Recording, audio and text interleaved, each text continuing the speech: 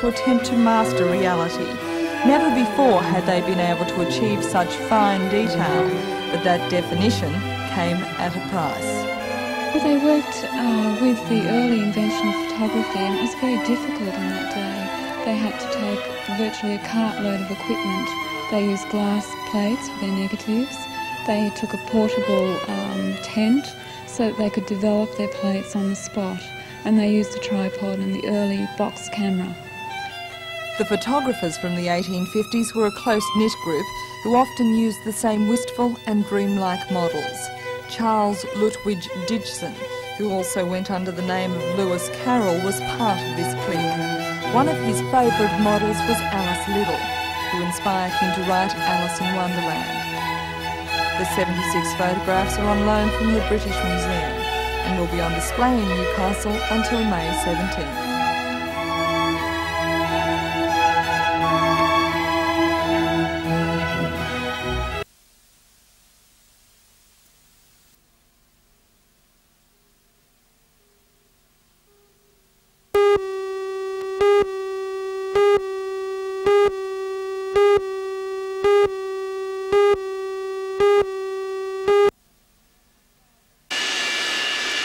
Of mammoth proportions. A special DC-9 had been hired for the event and it carried not only the isolation unit and patient, but also a large support team from Melbourne's Fairfield Hospital for infectious diseases. The idea of the trial was to iron out any problems in carrying highly infectious patients in the unit. The DC-9 landed at the RAF base Williamtown and from there the isolator was lifted by forklift out of the plane. It was then manoeuvred into an awaited high-peak truck, a job that was not as simple as it may have sounded. The isolation unit takes in air but has a highly sophisticated filter system which won't allow viruses out. Special armholes allow medical staff to handle the patient without actually touching him. Once loaded into the truck, the unit and support staff were on their way to the Royal Newcastle Hospital. According to Professor Clem Broughton, the Director of Infectious Diseases at Prince Henry Hospital, exercises like today's are essential. We've learned quite a few practical points about transporting patients, uh, and what we're concerned about is the safe transport of a patient, that is safe for the patient's point of view and safe for the staff and the air crew and those who are handling the, uh, handling the capsule.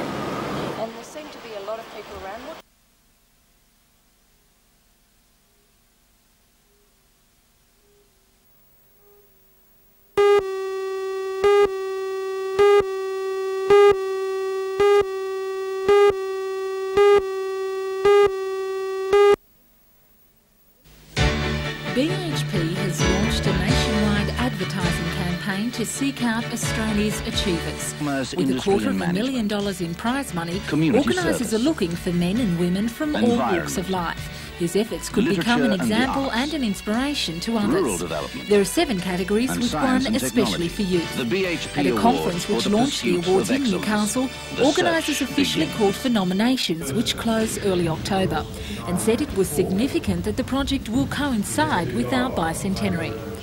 Well, as I would see it, the bicentennial is, a, is an excellent opportunity for Australia to take a stock of what has occurred over the first 200 years and, looking at, and then look ahead, of course, to what may occur in the next 200 years.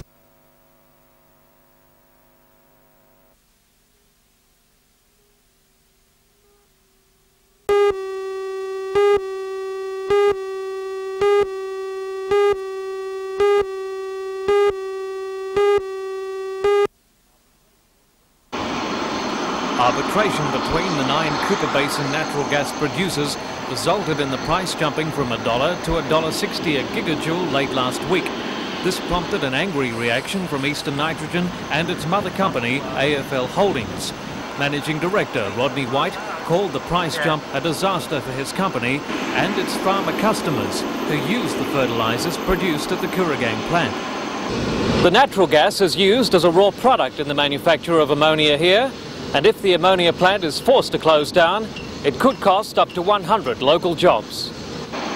The Eastern Nitrogen plant sells one third of its ammonia output to export markets to sustain continuous operation. It may stop making the ammonia and end up importing it. The company is also an important supplier of explosives to the Hunter Valley coal industry, and a scale down or closure would force the mines to buy elsewhere, probably imported product. First of all, it substantially increases our manufacturing costs, and we would have extreme difficulty at this point in time in the rural sector in passing those on. Secondly, it affects our future plans for the site. We were looking at the prospect uh, as this being one of the sites for a nitrates expansion, and we're clearly going to have to review those plans uh, in the light of this change. And thirdly, we've had a substantial export from business from this plant over the years, and it's going to reduce the, the viability of that business in the medium and long term. The gas price is a tragedy for the Newcastle-based operation. Sources tell me that just last week, approval was won for a $30 million upgrading and expansion of the Eastern Nitrogen site, which would have secured its economic future. New processes would also have greatly reduced environmental problems. The union movement had signed an agreement in support of the plans. Now, the jump in the cost of energy could see that money being spent on a sister plant in Brisbane, where natural gas prices are significantly lower.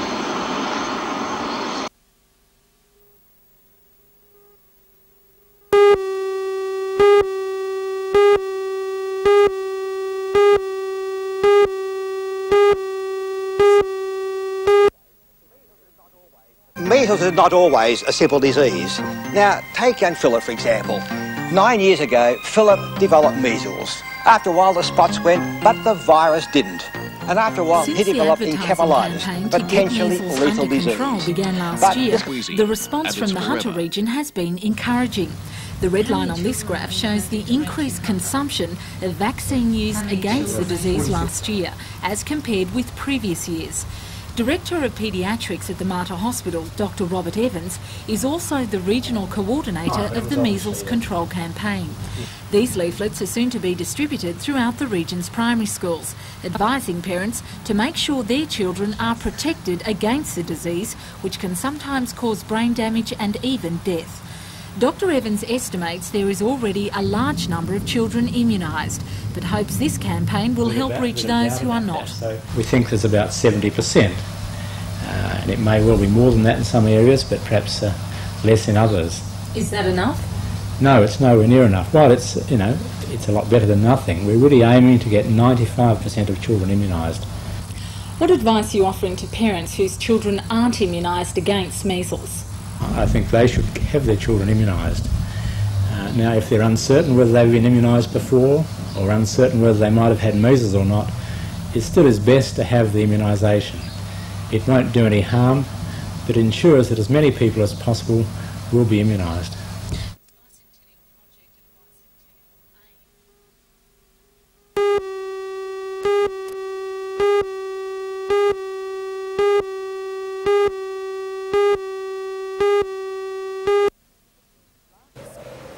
Last October, the first stage of the Residential Tenants Tribunal Act came into force.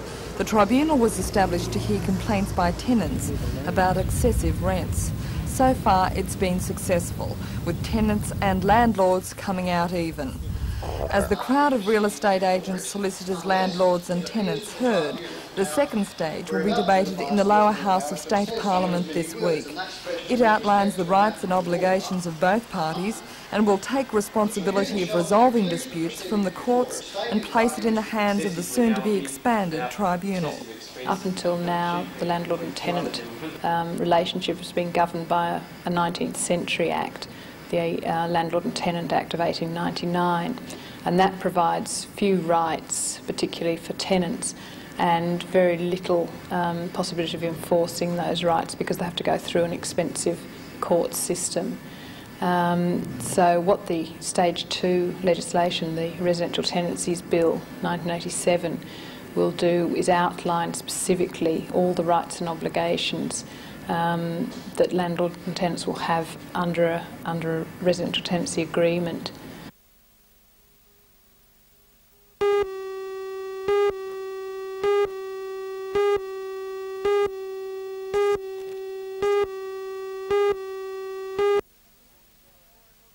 At the last training session before the championships, the 19 members of the Newcastle squad looked ready to do battle.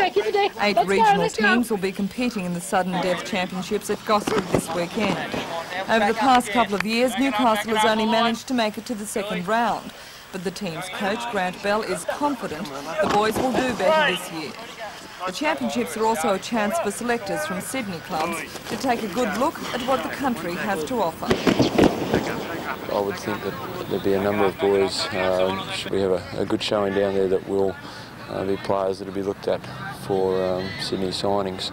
Uh, certainly in the past, there's been scouts from a number of the, of the Sydney clubs who've uh, been chasing the players at these championships, and uh, with Newcastle going in next year, uh, one would think there'd be a number of boys that have been very closely looked at.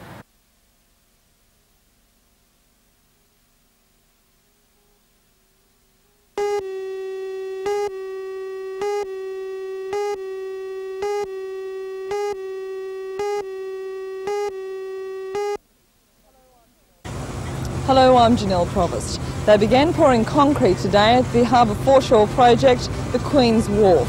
200 cubic metres of concrete will be poured today, but that's just the first of a number of pours to happen over the next seven months, before the completion date of December 31st.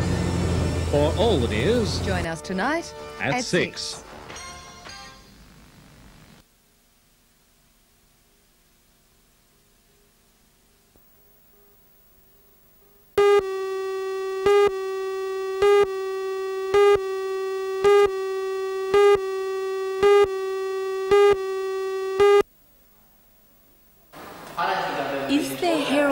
My Coffee is the first production this year for the 2 till 5 theatre company. Like most of its other plays, the script and characters have been devised by the young cast members, who this time are exploring the issue of drugs from within the mind. It's a big year for the company, who's still looking for a permanent residence in Newcastle, since the Wood Street Theatre closed down last year. For the first time, the group hopes to begin touring into the Upper Hunter. And after clinching the rights for the popular TV show Theatre Sports, the company will begin the venture later this month. As well, the 2 till 5 Theatre has expanded its membership, just in time to take its place on stage for the biggest show of them all. Shopfront Theatre is organising an International Youth Theatre Festival in Sydney in January. And that'll involve companies from uh, all over the world coming to Sydney as part of that, and 2 till 5 has been the only com other company from New South Wales to be invited to that. So um, I guess that's testimony to the, to the quality of our work. Is There Heroin in My Coffee opens at Free Wheels Theatre this Saturday night.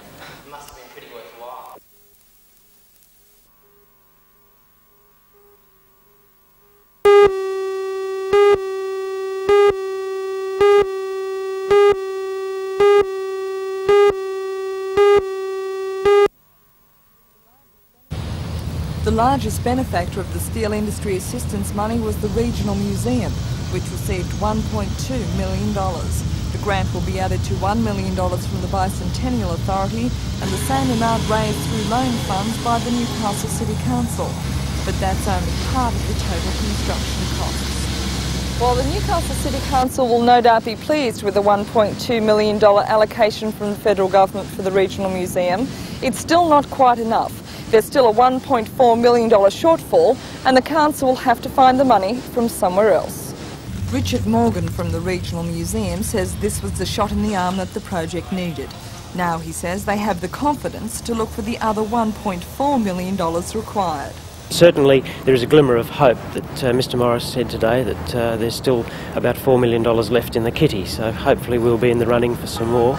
But um, I would expect that we'll be looking at other government departments very, very hard to see whether there is some money available. The other winner in the federal government handout is a planned heritage mall in High Street, Maitland. Maitland City Council received $250,000 from the federal government towards the $1.2 million project. A decision on the successful tenderer for the mall will be decided at Tuesday night's council meeting. Allan Morris says that while some applicants have missed out on funding, it should be remembered that since the Hawke government introduced the Steel Regions Assistance Program, that some $39 million has been granted for projects in this region. Today's announcement being the total to something like $38 million that the Commonwealth Government has provided under this program th throughout the region in, in, in, water treatment, in, in tech colleges, technology centre, tourism projects. Now, we're, we're underspent to date by about uh, $4 million or thereabouts. Now, it would be quite unfortunate if we were to take the, the $4 million as being more important than the almost 40 million that we've spent.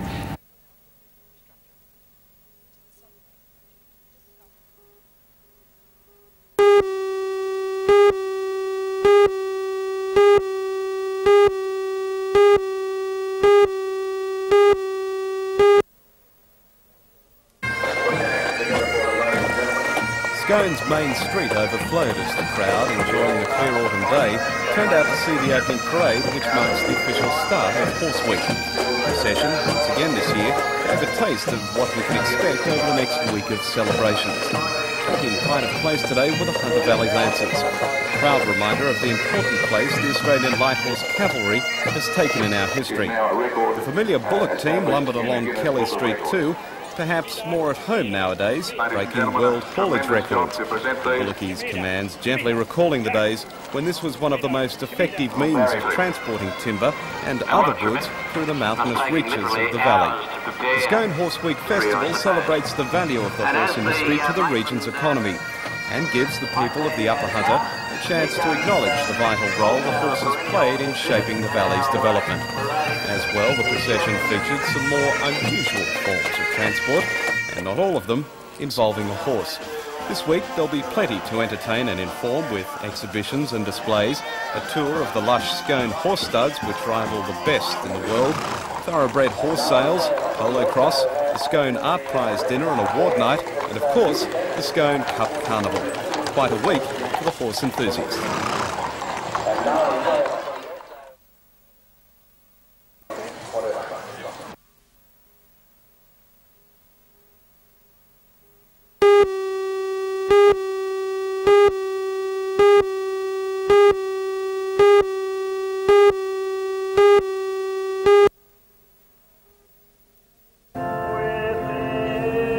St John's Anglican Church was filled to capacity mourners paid tribute to the late George Neilly.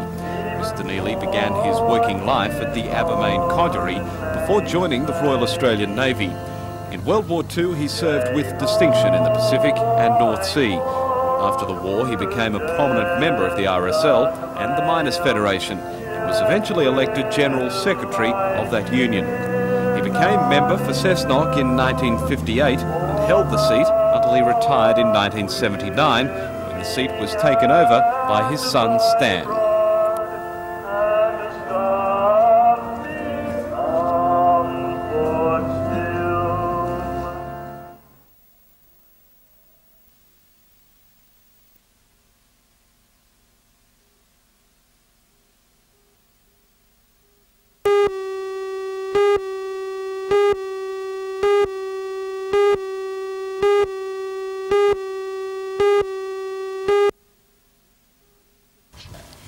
It seems the RAF base at Williamtown is proving a popular stopover for international aircraft.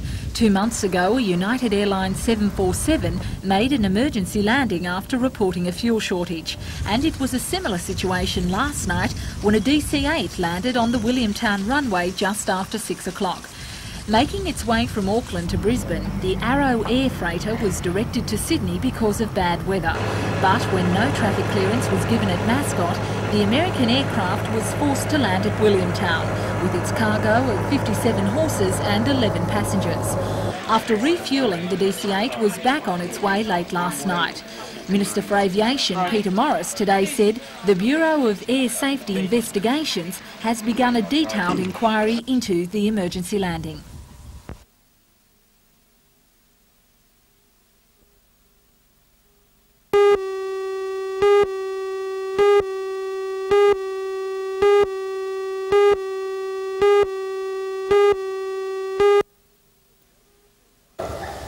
Church was filled to capacity as Mrs Pam Sorber and Miss Julia Perry were ordained as deacons.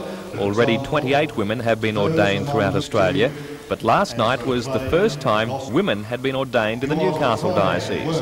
Julia and Pam were to have been ordained in February along with other graduates, but had to wait until an appeal was heard into the validity of the canon allowing female deacons.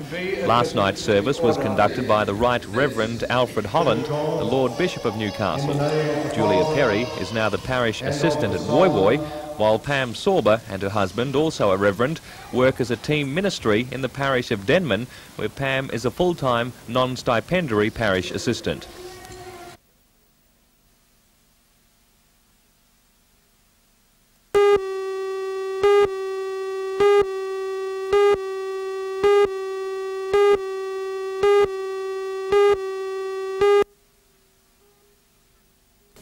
The Newcastle Trades Hall Council yesterday sent an urgent letter to the Hunter Region Small Business People's Association asking it to cancel Friday's visit of Queensland Premier Sir Joh Bjelke-Petersen.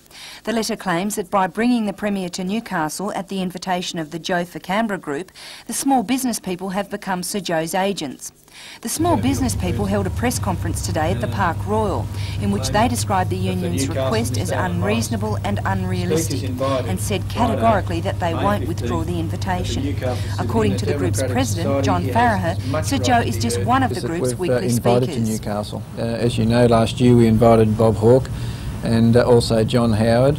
Uh, this year, this is the first of a number of uh, political and uh, business figures that we've invited to Newcastle, really to give uh, Newcastle an opportunity to look at, uh, you know, uh, what's offering in the in the political field. Sir Joh is just one of many political leaders in Australia. I think that really we, it's a, democratic right to to hear any one of those political leaders and, and business figures in Australia. We However, Trades Hall Secretary Peter Barrack says the implications of Sir Joh's Friday visit cannot be uh, shrugged off so lightly. organised. He says Sir Joh's packed itinerary, which includes a Newcastle rally and press conference, a tree planting ceremony in Maitland, and a walk up High Street, has all the smatterings of a politician hot on the election trail. Mr Barrack says it's the Why first part of an organised push into the metropolitan Well, I think that uh, his investors and uh, marketeers and researchers uh, would understand quite clearly that if the push for Joh for PM to Canberra is to be successful, they must win seats uh, in places like Newcastle, metropolitan Sydney and Melbourne and so on. I believe that uh, they've chosen Newcastle as a litmus test to bring Joh down here uh, to test the water and find out what a response would be to Joh coming into a place like Newcastle. But how can they really gauge what the response